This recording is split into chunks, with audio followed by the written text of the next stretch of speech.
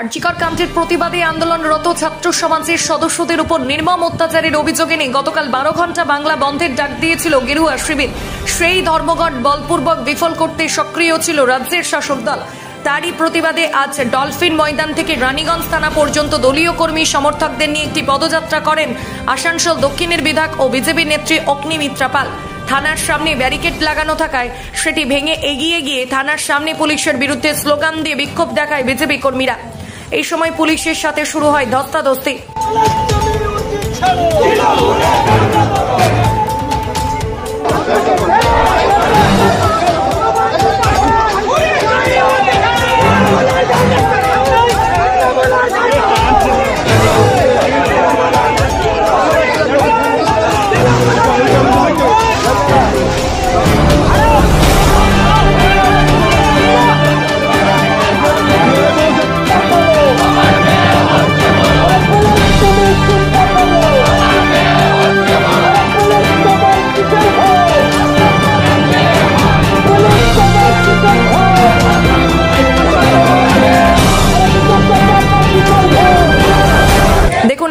বললেন বিধায়িকা। এবার সামনে এখানে এসেছি। গতকাল আপনারা জানেন যে আমাদের ভাই। আমাদের ভারতীয় জনতা পার্টির কার্যকর্তা নিত্যরূপ অভিক অনল দেবজিৎ বাদশাহ সুজিত। এবং প্রচুর মহিলা কার্যকর্তাদের মোলেস করা হয়েছে এবং আমাদের ভাইদেরকে সাংঘাতিকভাবে মারধর করা হয়েছে পুলিশের সামনে। এই পুলিশের রোল তো আমরা দেখেছি। চারুতলা থানায় যেদিনকে মমতা ব্যানার্জি মুখ্যমন্ত্রী হওয়ার পর দুষ্কৃতীতে ছাড়াতে গেছিলেন, সেদিনকে পুলিশ টেবিলের তলায় লুকিয়েছিলেন। আর বিনীত গোয়েলের পুলিশ চোদ্দ তারিখ রাত্রে দেখলাম, আরজি করের নার্সদের বাথরুমে লুকিয়েছিলেন। এই তো হচ্ছে আপনাদের সাহস, আর এই তো হচ্ছে আপনাদের কাজ। আপনারা যদি মনে করেন, রানীগঞ্জ থানার আইসি বিকাশ দত্ত। বিজেপি এলেও ব্যারিকেড দিয়ে নিজেদের আপনি যদি মনে করেন যে আপনার এই সামান্য ব্যারিকেডে আপনি বিজেপির কার্যকর্তাদের রুখতে পারবেন আপনি ভুল ভাবছেন। আপনি ভুল ভাবছেন যে আমরা অত্যন্ত শান্তিপ্রিয় একটি পার্টি আমরা আইন শৃঙ্খলা মেনে চলি অবশ্যই।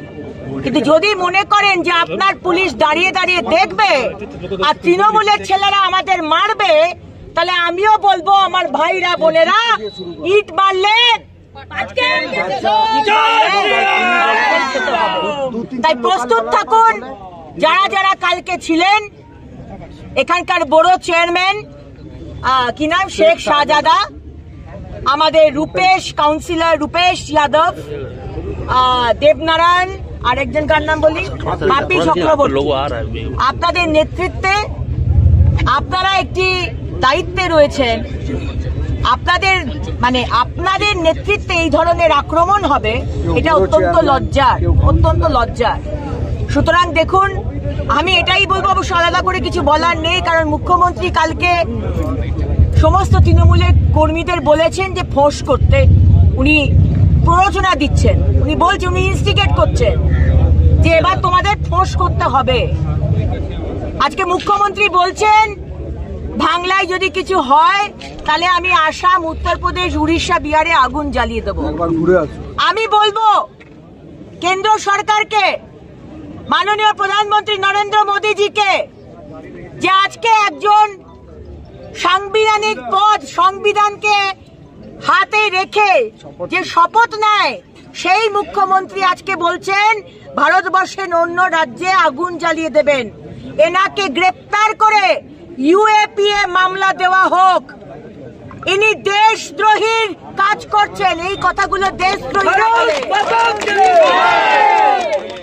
এই আগুন জ্বালিয়ে দেওয়া ভারতবর্ষের বিভিন্ন জায়গায় আগুন জ্বালিয়ে দেব। এই কথাটা দেশদ্রোহীরা বলে মমতা ব্যানার্জি আপনি কি দেশ আপনি কি দেশদ্রোহী?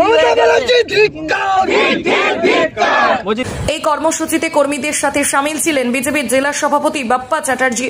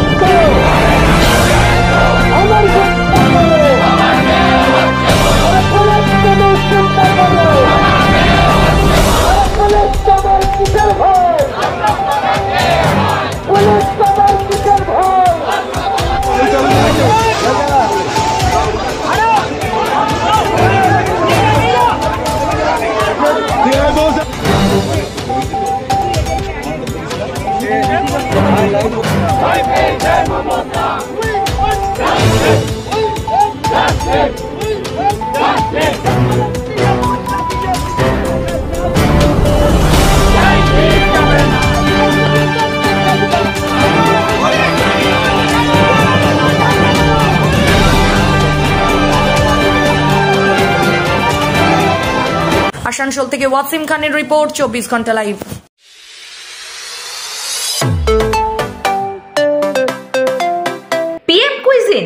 a family restaurant, come bar.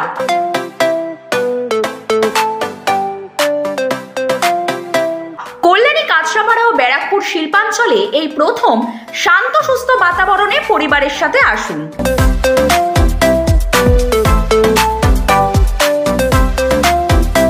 সুস্বাদু ডিসের টেস্ট এবং PM cuisine best Bagmore Kanchrapara.